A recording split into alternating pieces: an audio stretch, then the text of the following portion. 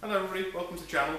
Um, what we're doing today, this is actually going to be one of the first uh, instructional type videos I'm going to put on. Behind me I've got a piece of equipment for my business, it's, uh, it's an industrial steam cleaner pressure washer, you know, for doing driveways, brick restoration, that kind of thing. There's actually another channel, I can put a link to that. Um, I keep having to leave it, uh, either on its own or on the back of the van. And I'm always worried that somebody's going to try and steal it, it's actually worth quite a bit of money. So what I'm going to do I'm going to weld this to the drawbar, um, just at one end with one link. That way, obviously, I can loop it round something, maybe the, the rear of the van, or even to a, you know, a fence post, something. Uh, I can even block it round the hitch to stop the hitch working, as well as the hitch lock. I just want something else just to, just to make sure nobody can steal it. Um, it's not a brake trailer. I'll go through that in a minute when I come back down, when I come down onto the ground. Um, so what I'm not doing, I'm not, I'm not putting this chain on to stop it from breaking away from the vehicle or anything. It's purely for security. So what I'll do now, I'll bring you down to the uh, to the ground level so we can see the hitch, and I'll show you what we need to go through to to get welding to it. Okay, we've moved down to the bottom now. Um, this is what we're going to be doing. We've got our length of chain. Uh, I'm just looking around the hitch. I don't want to weld it anywhere that's going to, you know, obviously it's not going to come off very easily, so I don't want it in the way of anything. So I'm actually thinking about there, like that. Um, so before we can start welding, what we've got to do is prepare this surface. To do that, we're going to need an angle grinder. One angle grinder. Now you can see we're not using a grinding disc or a cutting disc or anything like that. This is a, uh, a flap disc or a linishing disc. It's basically this one's. Let's take a look. This one is. This one's 80 grit. So 80 grit sandpaper and little flaps. That'll take the paint off really easily. Now the purpose for taking the paint off is because obviously when you're welding, the object's going to be the earth, the wire coming through the middle of the MIG. That's going to be the feed. So if there's any paint there, it's going to insulate. Uh, it'll also contaminate the weld even if you manage to get through it. So you want to get rid of as much of the paint as you can. The other thing I'm going to suggest that, that you do, and this is something I've learned through experience, clean a big area off, don't be stingy. It's always better to clean it off with a grinder than it is to try and clean it off when uh, the heat's transferred, burnt it and bubbled it. It's a pain in the arse, just, just clean it back. Um, always wear goggles, and you should always wear ear defenders as well. I've forgotten mine so I can't do it, but I'm only going to be doing it for a few seconds, I'm not too worried. But if I had forgotten my glasses I wouldn't do that. Um, I have seen one of these things come out, I've seen one explode, it's not pretty. It only takes, you know, what these are pound each or something, don't worry about it, just get a pair and wear them. So let's get started. I'm just going to clean this area off just here. I'll come in for a close-up when I've finished it. And uh, then we'll get the welder out. So, I've got the handle on the grinder. I'm going to have to get in the way of it here. So we're going to be cleaning yeah, this sort of broad area. We don't need to mark it. So uh, let's go.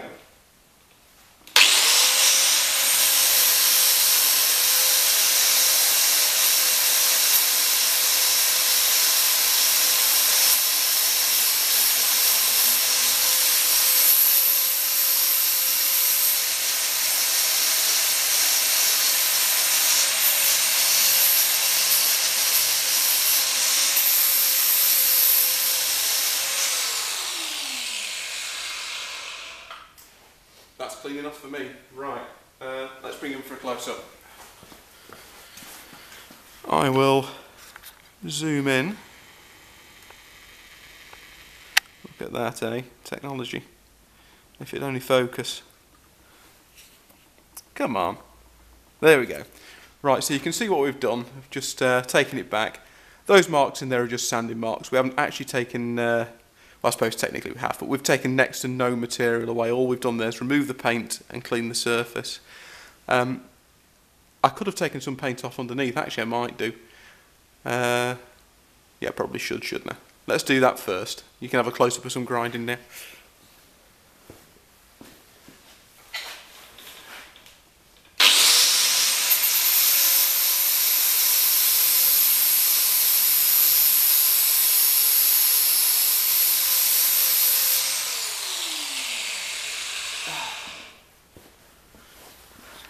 There we go. That looks better. Again, the only reason for cleaning it off underneath is just so that the welding process doesn't burn the paint and scorch it. If it does, honestly, it takes you ages to get it off. It marks the metal. Just do it. It's not a big deal. So the next thing we've got to do is uh, clamp the chain where we're going to need it, and I'm going to tack weld it on, remove the clamp, and then uh, then we'll seam it. Okay, so a welder out now, as you can see. I'm going to give a quick basic setup guide on the welder. Um, unfortunately, I can't tell you exactly what kind of settings you're going to need to use. That tends to vary a little bit welder to welder, but I can give you a few pointers. Um, first thing we're going to need to do, let's do a few, few uh, little, little things. Um, this is the earth clamp, as we said earlier on. The uh, this is earth. The wire inside the nozzle there, that's actually energised positive. If I touch these two together, we'll spark. So what we're trying to do, uh, we're going to put that wire between the two pieces of metal we're going to need to join and weave between the two. The wire is going to melt, it's going to cause the original metal here to melt and on the, uh, on the chain. It's also going to blend itself into there too. So one thing I did while the camera was off, I forgot to do it. On the top here, I've actually just ground a little shiny piece on top. That's because the same reason the, uh, the wire won't uh, hook up. We need this to be nice and clean on the earth, otherwise gonna, you're going to get no current going through. So that's that on, that's easy. Uh, the type of, oops, the type of welding we're going to be doing is called MIG welding. That's metal inert gas. That just means gas that we're using. In our case it's a, excuse me, in our case it's a argon CO2 blend or Argoshield or MIG gas or whatever you want to call it. It's just argon and uh, carbon dioxide mixed. You could just use straight carbon dioxide, but it's a little bit nicer when you use, uh, use the blend, or even straight argon would be the best. Um, the gas is there just to shield the weld. There's all kinds of contaminants in the air, yeah, oxygen is the main one. It's going to get hydrogen's another thing that you don't want in the metal while, whilst it's melting. It's literally boiling in front of you. There's plenty of videos on YouTube you can watch to see that happening. But the idea is that this, uh, this gas is going to flow through this pipe. It comes out around the nozzle and it shields.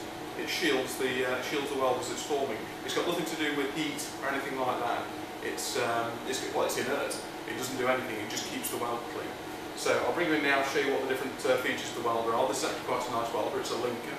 Um, I've never had any trouble with it, I like Lincoln, some people like ESAB, some people like Miller. Um, I bought this one because I got the best deal on it, to be honest, I've no real preference. Um, let's take a look at the front of it.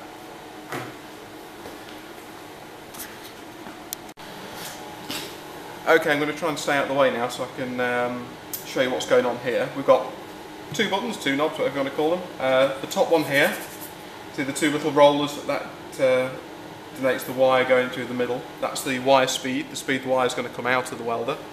So right now you can see we're set on number 7 which will come out about that fast. If I were to turn this all the way around to 1 let's say, if I just trim it back so you can see it, it only comes out incredibly slowly. Now with experience you'll um, you'll get the hang of where your wire speed needs to be. Uh, if I turn it all the way up to 10, it comes flying out. But this welder's good round there. Um, there's actually just here, there's a table you can uh, use. It's only a guideline, don't take it as gospel truth. Uh, so we've got wire diameter, 0.6 millimeters, that's what we're using. Um, what kind of gas you're using, argon CO2, that's what we're using. Um, and then you've got wire speed versus how many amps you're using. So, you know, it's a guide, you can work it out. But as we're going at the minute, generally this thing welds really nicely on setting number 4, which is 1, 2, 3, 90 amps on somewhere around number 7 wire speed. Um, again, it's, this is a guideline, it's good, you can use it, um, just don't take it as the gospel truth because it's not always completely, uh, I mean metals vary as well, like I'm welding a really hard steel chain to mild steel, um, obviously there's going to be some differential in there. Right, so the gas bottle, that's on the back of the machine. Uh, I'm sure you've all seen a gas bottle before. But if you listen to the, uh, the nozzle now, when I pull the trigger, all you can hear is the wire feed and the motor going. That's it. Good stuff. If I turn on the gas bottle,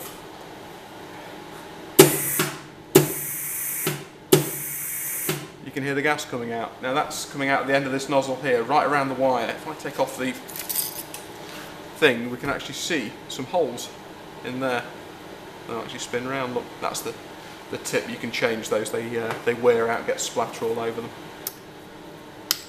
Get rid of that. So that's where the gas is going to come out. It then gets directed by this collar going over the top and it comes out all the way around it. If when you're welding, this is another reason you need to clean your metal. Uh, all splatter gets up in there. There's a little bit in there now, but it's nothing serious. It actually blocks the gas off, and then you start getting porous welds, which is, well, nobody likes a porous weld. So, with that said, the machine's set up good enough for now, I think. Um, what I'm going to do is put my mask on, I'll give you a quick look at that, and uh, we'll weld this chain on. Okay, now we know when welding we're going to need to be using a welding mask. Um, there are different kinds of masks. Uh, actually quite often when you buy a welder they'll give you one for free. It's just a cheap little thing you can either hold it in front of your face with your left hand or it'll look something like this, a proper welding helmet, except it won't be, this is what we call a reactor light mask, it's automatic.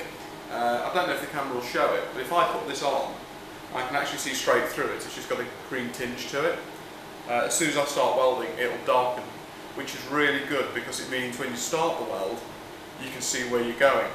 Uh, then it dims, obviously the brightness from the welding makes it, you, you can still see, but it, it's just automatic, so it, uh, it makes your life a lot easier. If you're learning to weld, I strongly recommend you get one. This one was about £50, it's, they're not expensive. Get This is an ESAB one. Um, you can get them on eBay, you can get them from your welding supplier. Don't buy one of the cheap £20 Chinese things. Um, I have had arc eye a couple of times. That's what you get when you're looking straight at the UV. It actually burns the, the front of your eyes. It is real and it does hurt.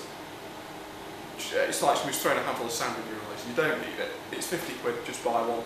Um, it'll be a good investment. It lasts for years, so it's not something you have to replace every two minutes. Uh, so, well, this one's mine. So let's uh, let's get down to the bottom here. I'll bring the camera in a bit closer and we'll, uh, we'll do some welding. I've got literally no idea what this camera's going to react like when I start welding, so uh, I guess we'll both find out. Okay, so we're about to start. Couple of tips. Don't tie knots in this, in the, in the cord. There's, uh, there's a neoprene liner down here which you can change, and what tends to happen if you imagine the, uh, the wire's actually stored in the machine, I can show you that probably a bit later.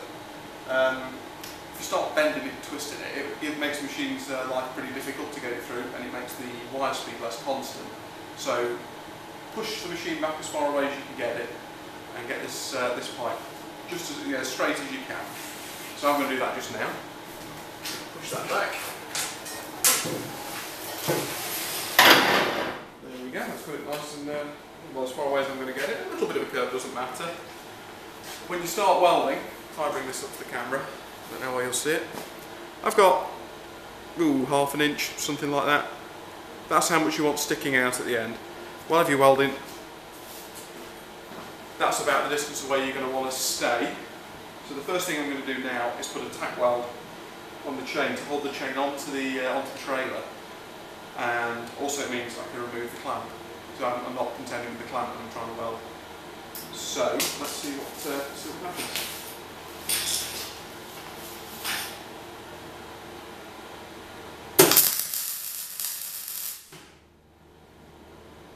Okay, it's on.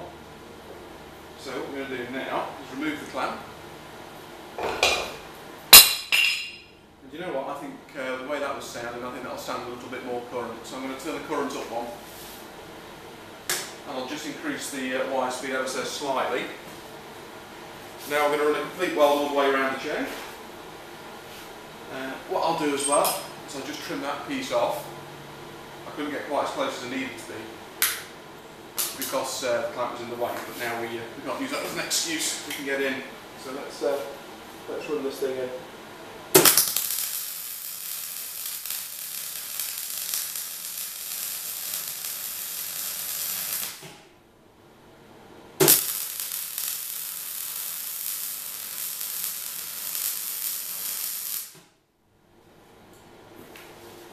Do this in sections so I don't obstruct the camera too much.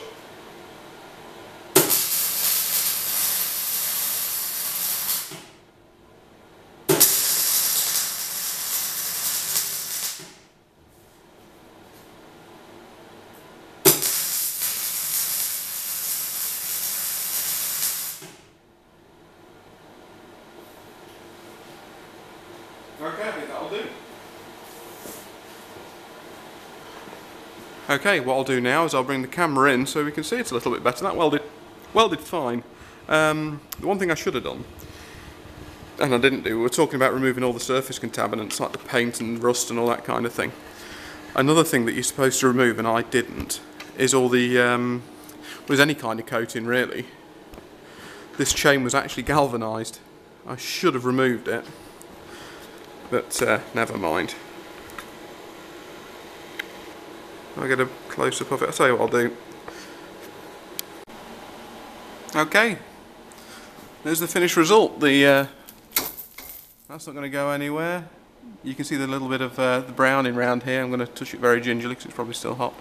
Um, that's not the neatest one I've ever done. It certainly isn't the worst and it certainly won't go anywhere. So all we've got to do now is clean it up and uh, put a bit of paint on it. I'm going to put some red lead on there first, red oxide primer, and paint it the same colour as the uh, same colour as the trailer, I suppose. Let's uh, let's go up higher. Okay, and there's a good little after pick. That's what it's going to look like. Obviously, I've just locked it to the hitch. That's not where it'll usually go, but uh, I think that's certainly going to add a bit of security to this thing. It'll make me feel a bit uh, better about leaving it by itself overnight. Um, right, there you go. Any questions, just ask. Um, if you'd like to see any more welding videos or anything like that, let me know. Uh, anything else in particular you'd like to see, just put it in the comments below. Thanks for watching.